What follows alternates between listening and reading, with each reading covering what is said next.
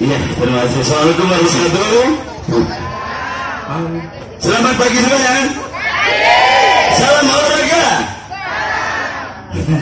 Kalau salam olahraga jaya, gitu ya. Nah, salam olahraga. Salam olahraga. Salam olahraga.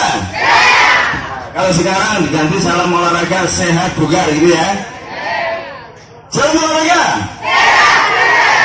Iya, jadi biar kita selalu sehat, ya walaupun dengan senam, sifatnya ya kita cuma gila tapi manfaatnya luar biasa.